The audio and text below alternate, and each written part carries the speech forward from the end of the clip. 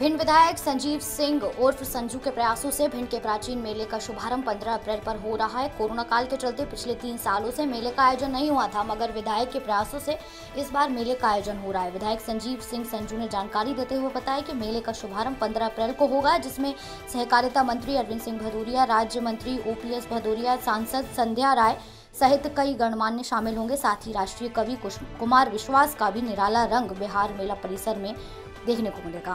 भिंड से प्रदीप राजावत की रिपोर्ट।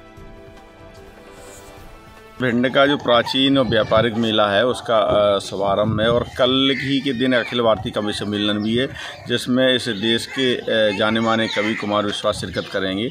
और मेले के उद्घाटन में हमारे प्रदेश के कैबिनेट मंत्री अरविंद भदौरिया जी रहेंगे। उसमें हमारे ज़िले के दूसरे मंत्री O P S Bhadauria ji भी रहेंगे, सांसद संध्या राय जी हैं, वो भी रहने वाली हैं।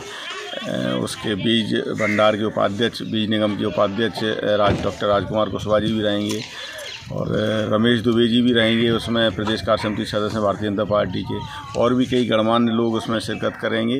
तो कल उसका उद्घाटन होगा और कवि सम्मेलन भी होगा।